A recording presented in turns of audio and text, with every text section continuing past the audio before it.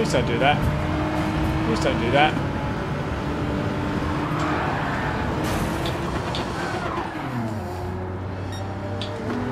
Okay. We're in big trouble.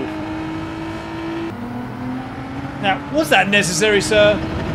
But yeah, I get a better run down the outside, so I thought I'd go down the outside. He doesn't like it very much by the looks. He tries to put us in a pit lane. I've got no choice but to avoid the wall, and then... Oh! Steering... Yep, left, left, left, left, left. You.